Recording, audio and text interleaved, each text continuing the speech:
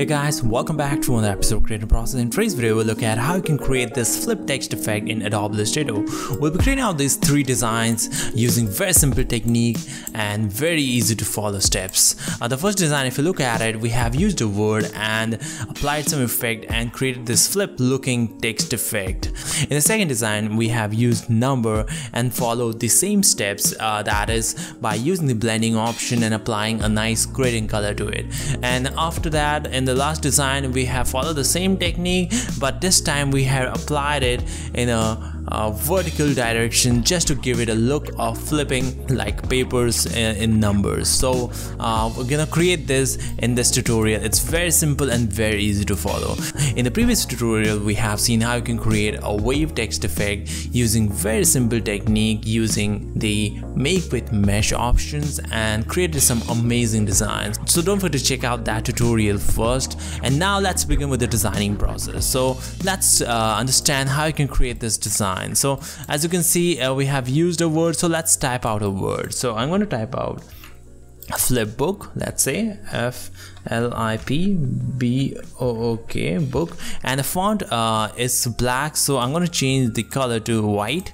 So here we go and I'll just increase the font size to this much. So this is the flip book. Now let's rotate this vertically so I'll just click and with the ship rest uh, you can rotate it 45 degree angle. So I'm gonna keep it like this now. So here we go this way. And now the first step is to uh, expand this into fill object. So I'm going to go to object and expand it because you have to do some steps which uh, will only apply to the fill object. So now uh, the next step is use the this transform tool free transform tool.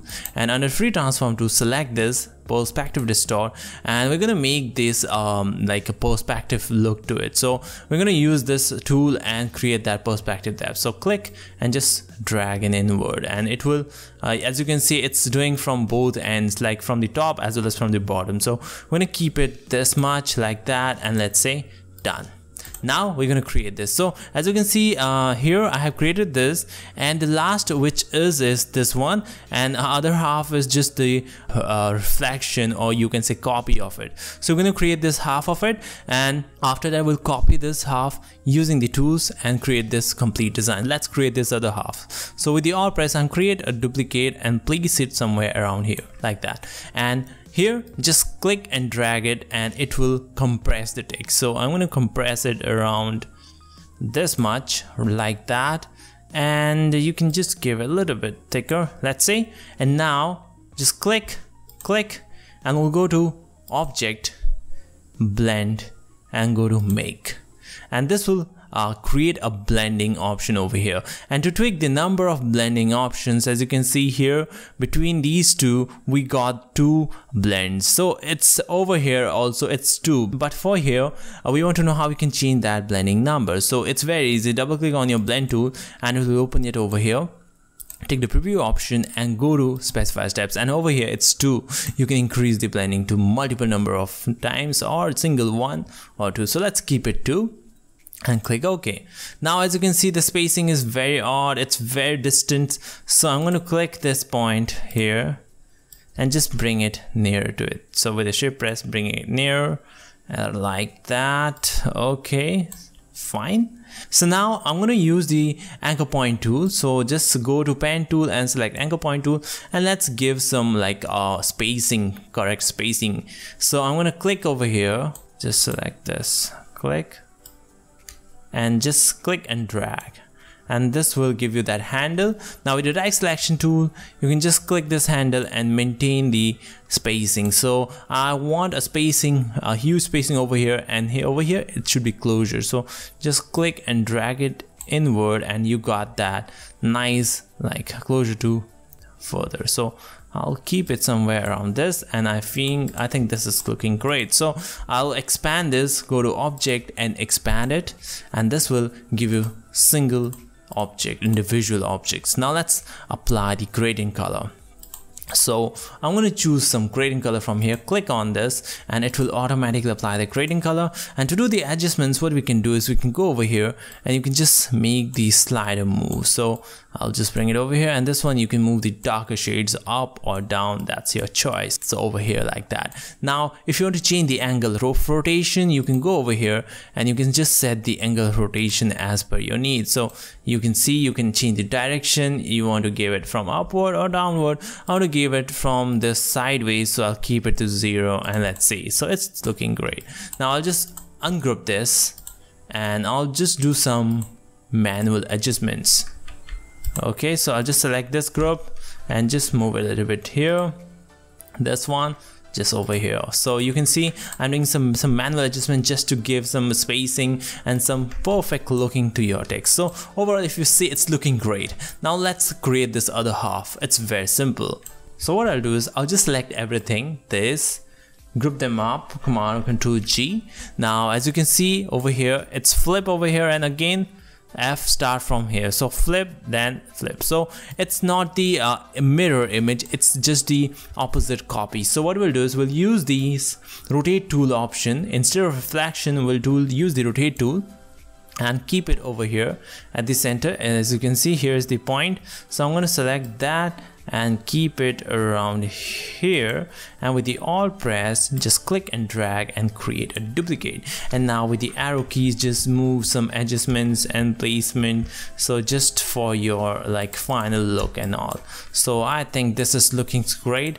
I'll just make this a little bit further away and you get this interesting design so if I zoom it out you can see we got that nice flip text effect from this to this and I'll just select them group them up and here we go. Our first design is just ready. It's just very simple to create and uh, very few tools we have used to create this design. Now let's see how we can use this technique and apply to a number. And the steps is similar. So we're going to type out the alphabet like let's say number 5 and I'll just uh, change the font color to white and increase the size around this much let's say. And now let's apply this. It's very simple. The first step was to convert this into like outline strokes. So I'll go to object and expand it just to convert into outline objects like that. And now we'll create the half of the region. So I'll just create under duplicate of it place it somewhere and from here just compress the thickness right? And place it something like this. But before that we have to use that transform tool just to make it perspective. So over here click on perspective click on this uh, perspective distort and click over here and make it invert so here you can see we are giving some angle to this something like that. Okay and now I'll just scale this up a little bit just to see the effect and I'll just keep it somewhere around here. A copy of it and just compress the thickness something like this okay? And now we'll create a duplicate of it. So just click select them both and we'll create a blend. So go to object blend make and we got that too. I think the 2 is great but we need to do some adjustments with the spacing. So I'm going to use the anchor point tool from pen tool and click on this point right? And with the shift press I'm just making sure it's uh, properly aligned. You can move around something like this or this this. So we'll keep it like this. And with this you can just move around the spacing. So I want this to be something nearer to this. So click like that and right. And once you're happy with that we'll go to object and expand it. And this will convert all these uh, individual blending objects into single objects. So here we go and we can ungroup it and we can apply the gradient. So I'm going to pick that gradient from here like that very easy. And you can adjust the uh, position over here. So I'm going to make this little here and dark to light right it's looking great. You can just little add fading. And we're gonna uh, adjust the angle as well. So you can go over here and adjust the angle. But I think this looks great for this design. And now let's adjust the spacing. So select it and move around. This one move around. This one I'll just bring it little closer okay. And we'll select this both and make it little closer right. And overall I think the rest is great. So I'm gonna select all these number and bring it somewhere around here. And let's create a like this one. We're gonna create the reflect. As you can see it's the uh, mirror image of these other side. So I'm gonna select that group them up and we'll go over here and select reflect tool. Click it only over here around center. And with the shift pressed uh, with the alt and shift press just click and drag. And with the shift pressed you can see it's snapping in 45 degree and with the alt it's creating a duplicate. So with by clicking both the options you can create a duplicate and just do some adjustments minor adjustments with the arrow key. And here we go. We are done with our second design which is a number. So in this way uh, you can create a number. You can apply this in a number alphabet word anything you like our last design is this one. As you can see, it's quite different from our previous design. For our first design, we have applied the uh, blending options in a horizontal way. Now for the third design, we're gonna apply it in a vertical way. So if you zoom it and you can see we have added some extra details to our design. We have added some multiple layers over here and here we got some gaps. So it's looking like it's uh, flipping downward and this one uh, flipping upward and maybe starting of the flipping. So we're gonna create this. So let's create that. So over here I have used the uh, number 6 so let's type out our number. So for that select text tool and click over here then change the font color to white and number 6 so here we go. Number 6 is there. So now I'm gonna scale up the size. So uh, with the shift press I'll just scale this up around this much. And uh, what I'll do is I'll uh, like apply it in the opposite way. So this is the base. This let's expand it and expand right? And convert this into object. And now let's create this under duplicate. So what for our previous two design we have moved the position. For now we will not move this position so I'll create a duplicate of it on top. Command control C and command control F and just compress it from top something like this right? Okay once you've done that like this select them both and apply the blend. So object make blend make and here we got one duplicate. We need multiple number of duplicates over here. So one two three around three is good. And after that we'll add a few more later on. So let's uh, go to blending tool double click on it and let's uh, preview it and go to specified steps and increase it to three okay and click ok. Now go to object and expand it and click ok. So here we go. And now I'll apply the gradient color. So I'll just pick this gradient. And as you can see it's applying it in sideways. So let's change the angle first. So I'll go over here and change the angle to minus 90 degree. And I think this is uh, going on the opposite direction. So let's make it 90 and this is the correct angle now let's do the spacing of the gradient. So I'm gonna click this and bring it around here. And this one I'll just push it up. And this one extend it further something like that. And this will give you that nice depth in there. And you can just reduce the depth by just uh, adjusting the sliders very easy.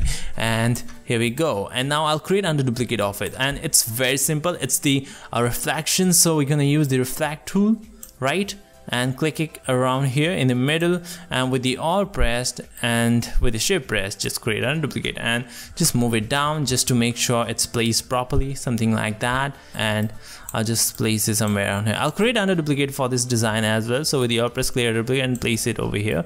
Uh, now let's work on this design. So we're gonna delete few of the some pieces. So just ungroup it and same way ungroup it and ungroup it. So ungroup all the um, files just to make sure we can select individual pieces. So here these two is fine. We'll delete this then we'll delete this. Over here this one is good good the good. Uh, we're gonna add few details over here. So select these two go to object blend make. And this will uh, add one more details over here. In the same way we're going to create select this this and go to object blend make. So this will add uh, two more like layer uh, flip layer just to give that effect. And we're gonna work on this uh, like a gradient color. So we'll select these. So I'm going to object and expand it first just to make sure that everything is sing like separate. Ungroup it right? And now every layer is separate. So we'll select these uh, down layers and I'll just increase the gradient something like that like and just bring it some forward and then bringing the gradient closer to over here. And brightness something like in the edge. And as you can see we got that nice uh, like blending layers over here. And in the same way we're gonna work on the other side as well. So uh, I'll just delete a few of this over here. Just uh, ungroup them first. This one ungroup them one more time. Here also we'll ungroup it twice. Ungroup then again ungroup and now each layer is separate delete it out. Over here also we'll delete this leaving that. And here I think this is great. So if you overlook over here uh, we're gonna work a little bit. So I'm gonna select these top layer and just make a little downward. In the same way I select these make a little bit downward. So this way our third design is also done so it's very simple very easy steps and the options we have used are, are just blending tool and some like direct selection tool and the free transform tool. So all these simple tools have helped us create this amazing design. Uh, in the next tutorial we're gonna work on some amazing text effect. So don't forget to check out the next tutorial coming up. And uh, uh, if you haven't checked out the, our wave text effect tutorial. You can find the link in the description as well as in the suggestion videos. So please do check out that video. And uh, if you like this tutorial show a thumbs up. And I hope you enjoy this tutorial. Don't forget to check out the next tutorial coming up. And if you want more updates on designing don't forget to like share and subscribe this channel. Thank you